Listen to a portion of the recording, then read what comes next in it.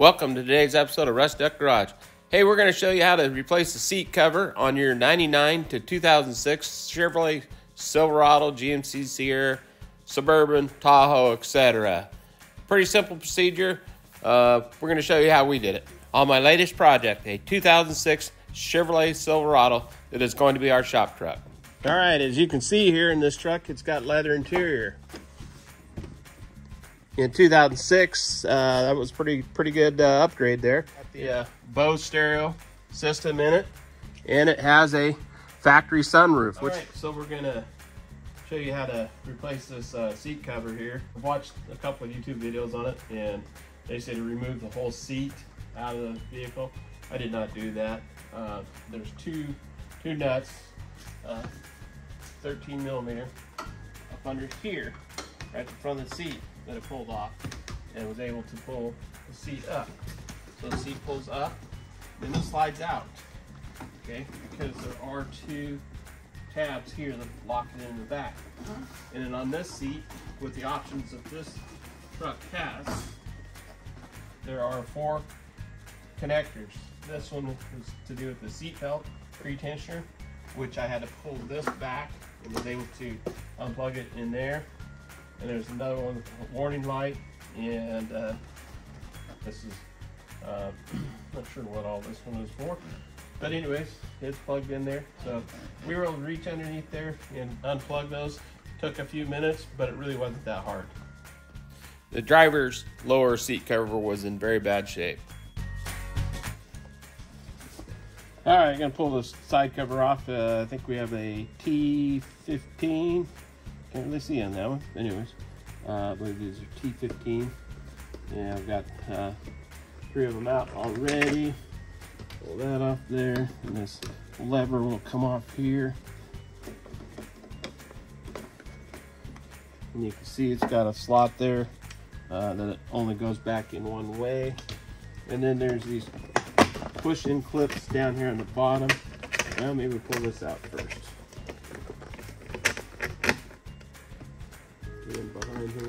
That thing. And there's our window, our power seat switch removed. That's off there. And then this guy here just pulls off of there. Somehow. There we go. Pull seat belt out there. And there's one clip in behind and that will come all the way out. One, two, three. And then we can access our seat. And there's two uh, 13 millimeter nuts on the front of the seat that mount to the seat frame.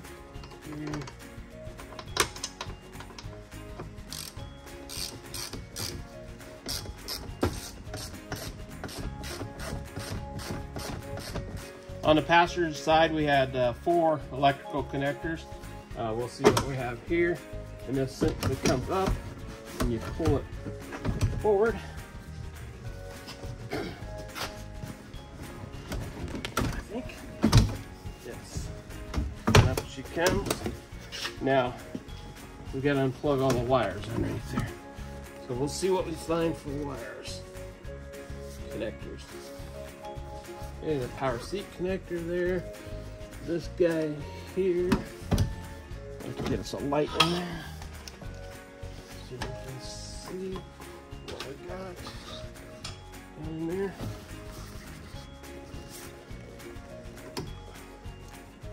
Pull that guy out.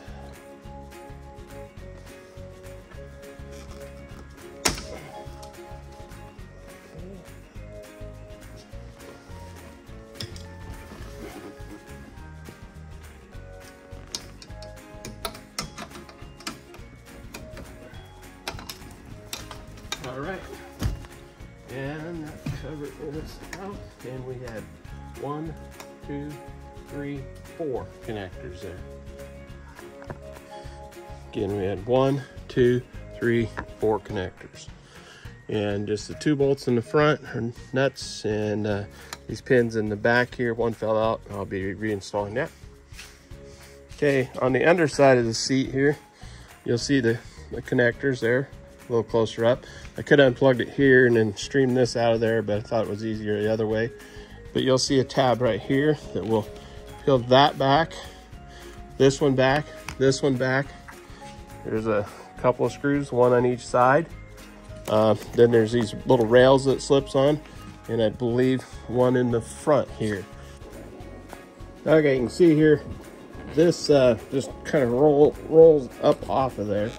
There's a trim in there that holds it there onto the edge there in the middle.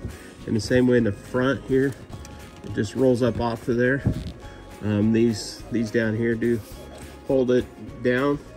And then there's a one in the back that, that rolls up here.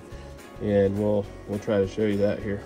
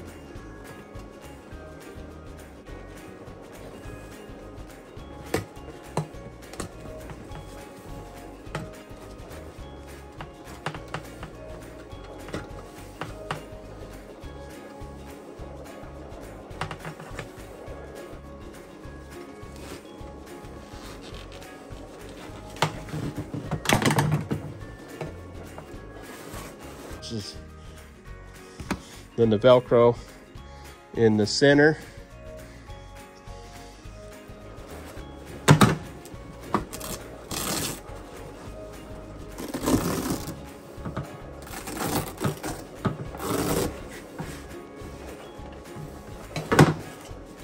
And off she comes. It's a lot worse when you take off. And here I have the new cover. Uh, the color is not exactly right. Uh, we'll be painting that with some SEM paint and I'll show you that process. Okay, you can see here that the seat is not the right color, not the right correct shade. Um, but I did get the correct color here.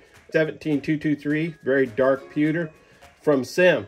SEM is a very reputable brand that we uh, use at the GM dealership when I work there to paint parts on uh, new cars. So it, it's a uh, it's good stuff, uh, and it does last a long time. And I was able to pick it up at the local auto parts house, but it's also available on Amazon and places like that. All right, and in the glove box, we have the option code list here. I haven't looked them all up. Uh, Regular production order code 69D, very dark pewter. But good stuff. What I did do is look up the RPO code of my interior and cross-reference it to this number to get the correct shade. And we're just gonna, we cleaned, we wiped it down, cleaned it, and now we're, I'm gonna uh, spray it with the, with the SEM paint.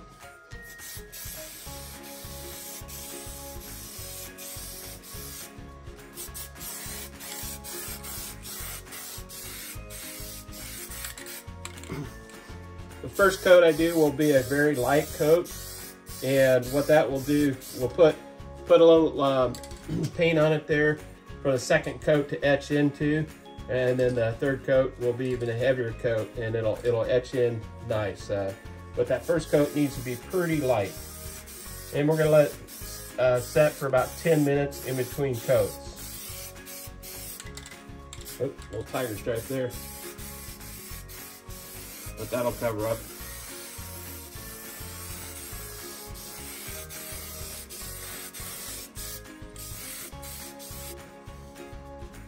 I did add a little bit of uh, padding in behind this uh, where it was worn down um, to bring it up and it looks pretty good.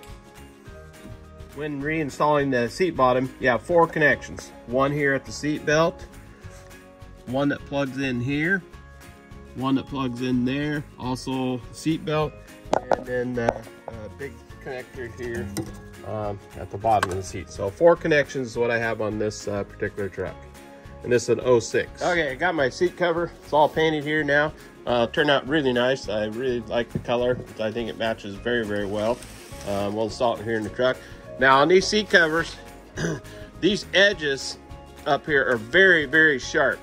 And if you cut yourself on one of these edges, you're gonna wish that you'd had somebody else uh, replace that seat cover. You'd have paid them handsomely.